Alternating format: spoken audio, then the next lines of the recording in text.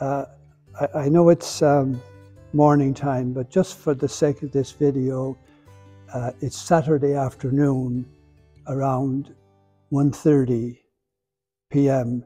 And this is the famous or infamous confession room or reconciliation, we call it. Um, and the name of the confessor uh, is yours truly, Father Patrick J. O'Doherty, holy, handsome, and humble. Uh, Father Paul, my associate, God bless him, uh, has a confession room on the other side, and they're coming to confess.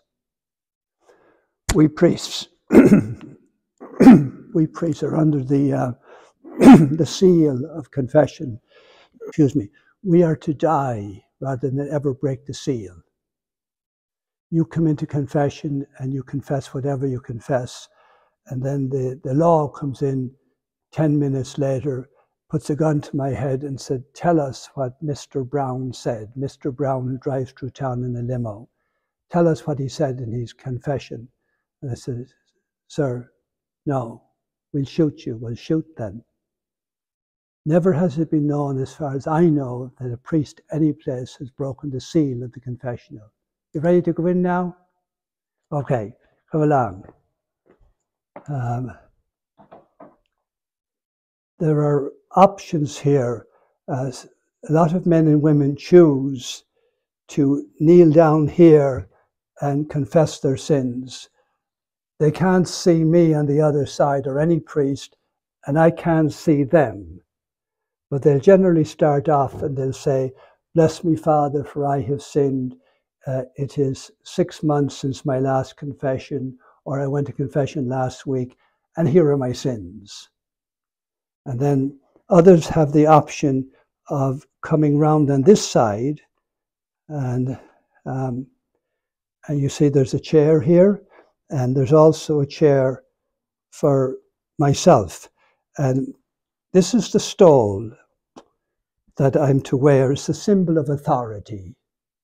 Like if you, uh, if the police stop you, you know, um, they'll have their uniforms, they'll have their badge, that's the symbol of their authority. Well, this is the symbol of the authority of Jesus Christ. It is by his authority that any priest absolves you from your sins in the name of the Father, the Son, and the Holy Spirit. Amen. Now, the, the penitent sits here, and the priest sits here. So I can hear on this side, and again, face to face over here. Again, to just uh, for your own well being, please, um, confession is not something that the Catholic Church made up. It comes directly from the Lord Jesus Christ. And here it is um, in the Bible, and it's chapter 20, verse 19 in the evening of that same day, the first day of the week, the day of the resurrection, the doors were closed in the room where the disciples were for fear of the Jews. Jesus was dead, he was dead and buried. And they were afraid that what happened to Jesus could happen to them. Jesus came and stood among them in spite of the locked doors. He said to them, Peace be with you and showed them his hands and his side where the wound was. The disciples were filled with joy when they saw the Lord, and he said to them again, Peace be with you. I think they were too astounded to answer him.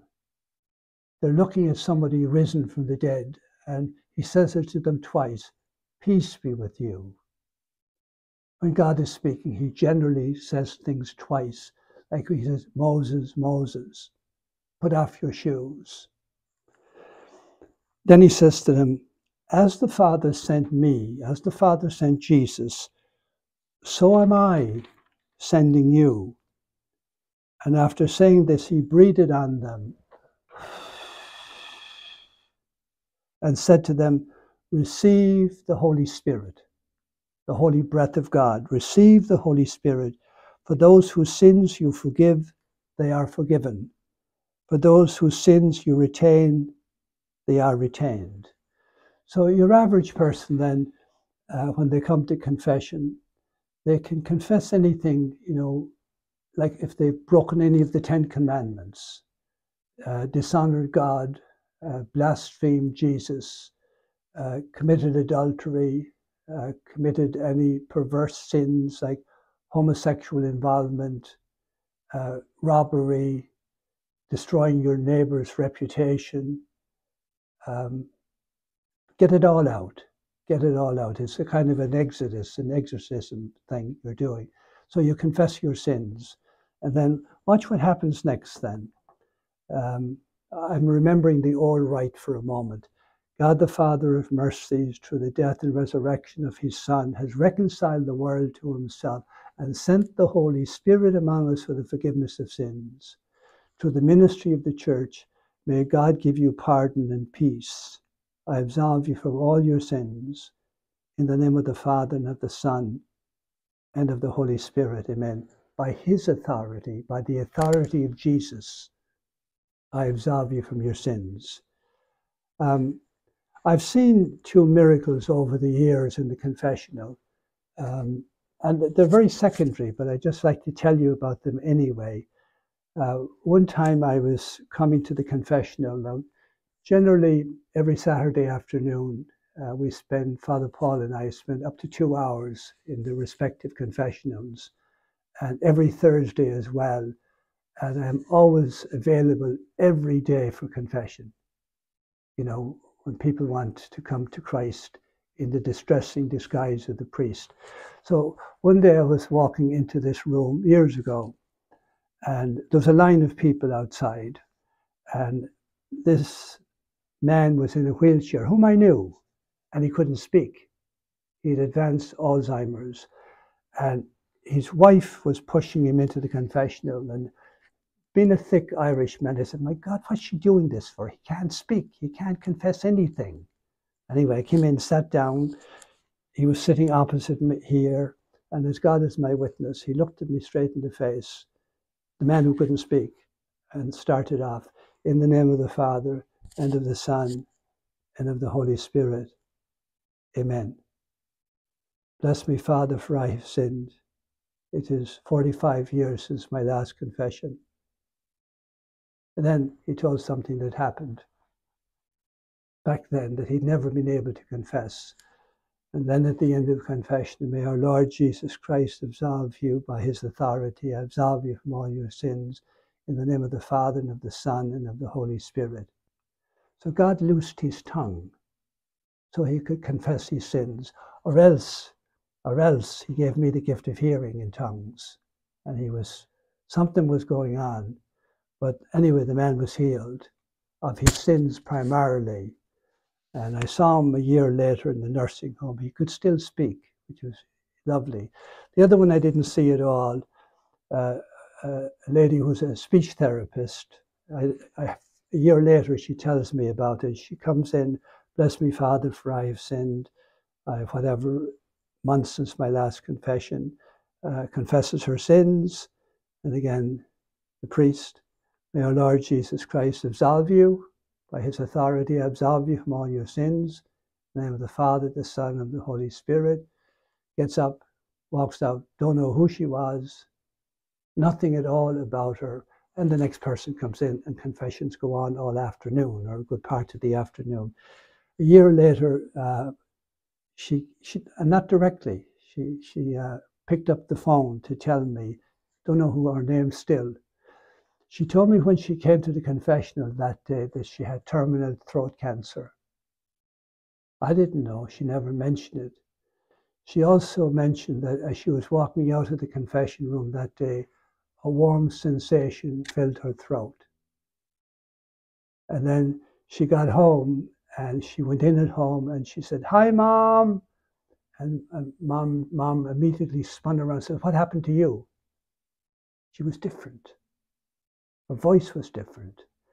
And she told me subsequently that she had been going up to Gainesville for, again, I didn't know her and still don't, um, to have her throat cancer inoperable treated in, in, Gainesville.